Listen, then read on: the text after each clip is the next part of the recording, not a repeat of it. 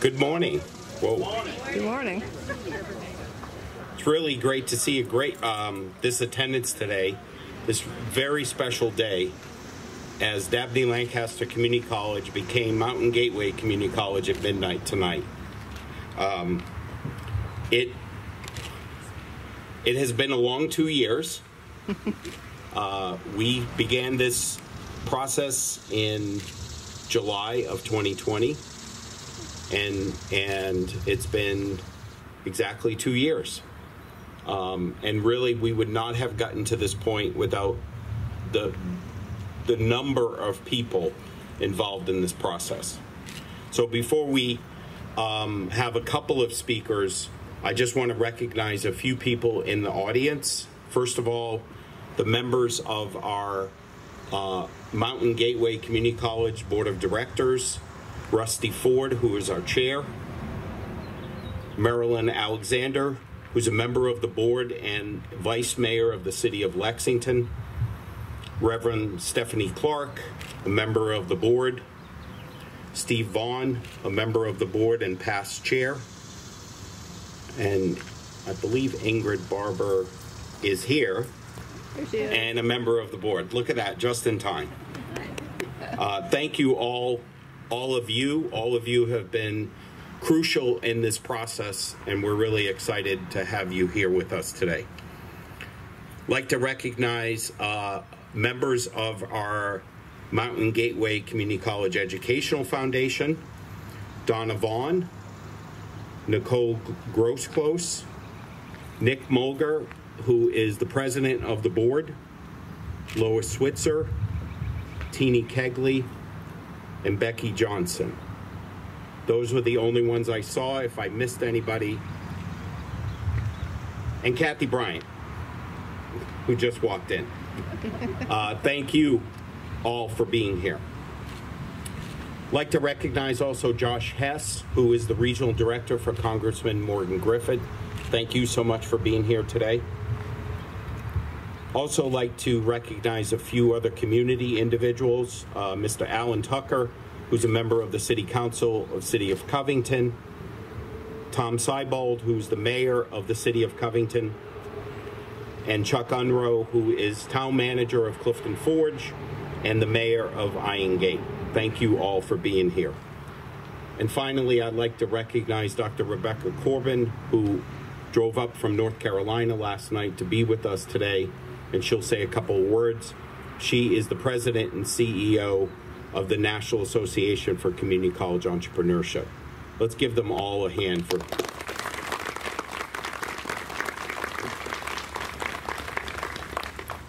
So I think I think many of you have have seen and have heard, unless unless you haven't lived here for two years, on how we have gotten to this point.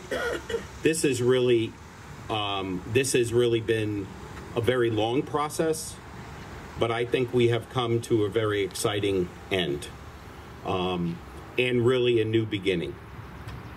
The college's name today changes, but our mission does not. We still focus on primarily three areas of student access, student success, and community and workforce success. Obviously, everything today is about workforce. Uh, the employers, all the employers are desperate for, uh, for employees and applicants. So are we.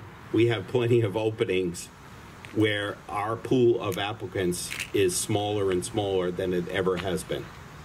Um, but our job is to try to um, fill that gap with individuals who we will train to the 21st century skills and then be able to be able to keep them in this community and be able to go to work.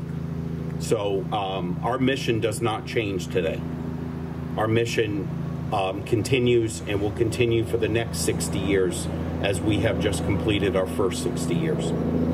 If little history lesson, uh, the college at 60 years old was was established in March of 1962. Uh, the first five years of our existence, we were the Clifton Forge Covington branch of Virginia Tech. And in 1967, we became Dabney Lancaster Community College with the establishment of the Virginia Community College system. And today, on 2022, we will become Mountain Gateway Community College. So if the name changes 60 years from now, that'll be somebody else's responsibility.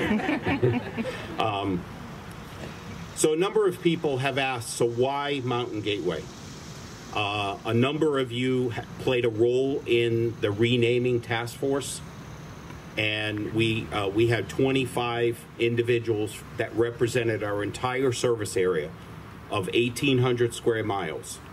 Every community was involved, and we had only 437 names to look at, and we narrowed it down to Mountain Gateway Community College. So why Mountain Gateway? Mountain Gateway, the word mountain symbolizes the beauty of our region. In any part of our service area, you can look up and see a mountain. It pays tribute to all the mountains that surround our entire service area. The mountains serve as a connecting point between the wide range communities in our service area. All the localities we feel, uh, all the all the localities that we serve feel a connection to the mountains. Mountain can also be served as a metaphor for a level of success and range of opportunities offered by the college. And then why Gateway?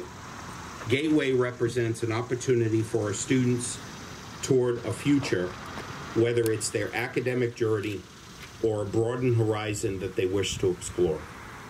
The term gateway opens doors to the middle class and that's what community colleges do. And by supplying local industry with trained workers and residents with opportunities to gain solid uh, paying careers. And that was the rationale that the committee came up with as their number one choice um, as we look to the many of the 437 options that we started with. Um, really, just a little point about the about the task force. Uh, the task force again, we uh, there was 25 members. We had over 70 people volunteer on a survey, and we had to. The goal was to really represent the entire service community. And those 25, I can tell you, did not agree. Every two weeks, we met every two weeks for uh, I think it was um, three months, and the amount of work that they all did and the homework that they all did to really look at the definitions and the meanings of that. Um, but I feel like the group really worked together, and this was all, mind you, by Zoom. This was not in person at that time. So uh, we really appreciate all of the work of the renaming committee. So at this point, I would like to introduce, reintroduce Rusty Ford who is the chair of, Mount, of Mountain Gateway's uh, board, uh, local board, uh, to say a few words.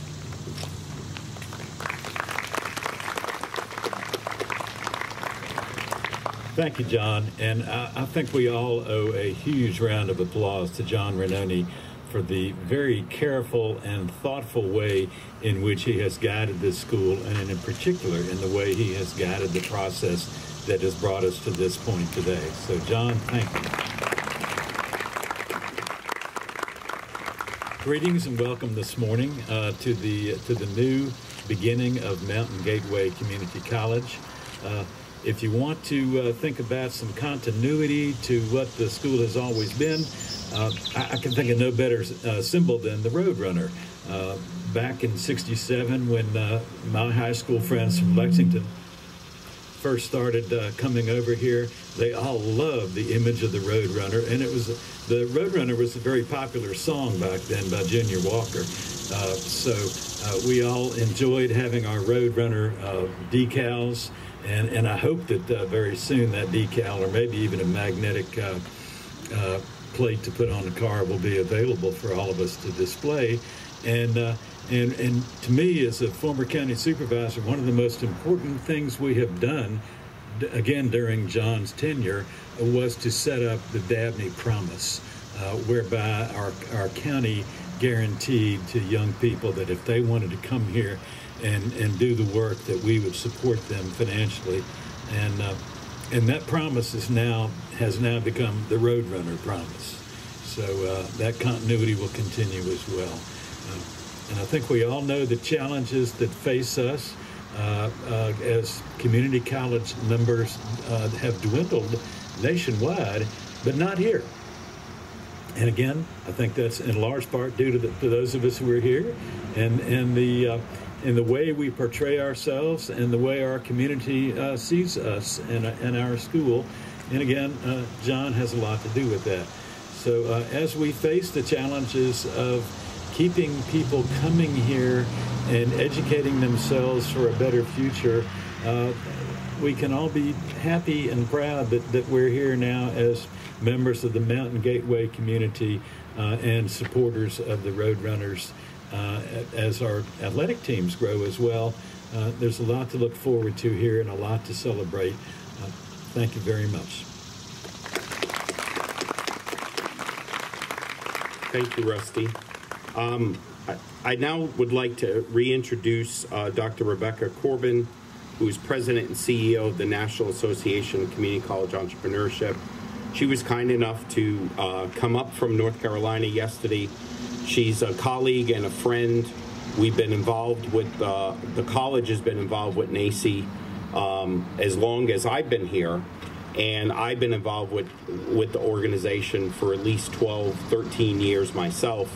And um, she's going to bring sort of a national perspective of, of community colleges. So, Becky, thank you. Well, congratulations, everyone. It is a just beautiful day and a lot to celebrate.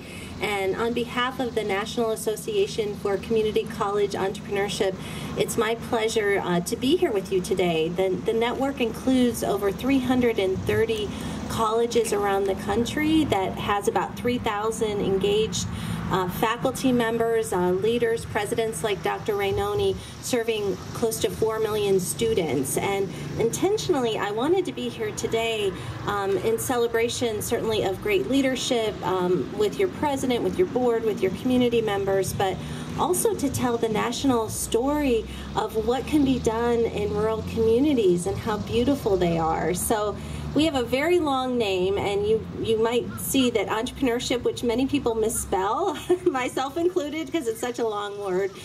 But just to think about entrepreneurship and not only business creation, which is a lot of um, what rural communities are very good at, but really thinking about it as a success mindset. And um, being in the community college space, working as a vice president for community college for many years, and now in my role at NACCE, I just think there's so much hope and possibility in the world. Um, a lot of it, as you, the prior speakers have mentioned, focuses on the mission of community colleges. And um, you, you, know that there's over a thousand of them doing work in very similar and somewhat different ways than what you're doing. But I think um, sometimes when you're immersed in work, you don't realize how special it is and how valuable it is, and how states like the entire state of California, which is very big, um, looks to rural America, um, both inside and outside its states, to come up with really innovative solutions. So, I'll lastly say I love the Roadrunner uh, idea, and um, one of the things that we uh, preach in entrepreneurship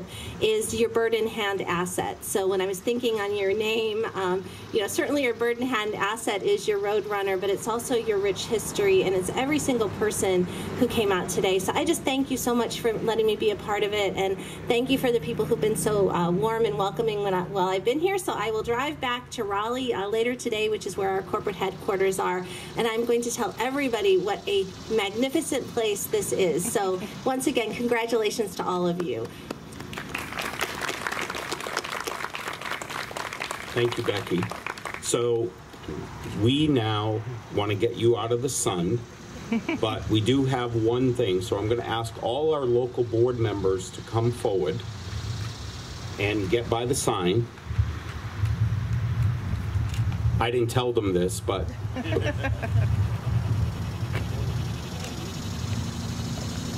so what I'm going to do is I'm going to unveil this sign, and then we will all unveil the large sign. Um, I'm sure you you know the story about this sign, right? the accident that occurred. Normally, we would have been doing the unveiling on that. It's a long story. See me over uh, a cup of coffee, okay? Um, and you can find out the story there. So this this will be our temporary permanent sign for a short period of time.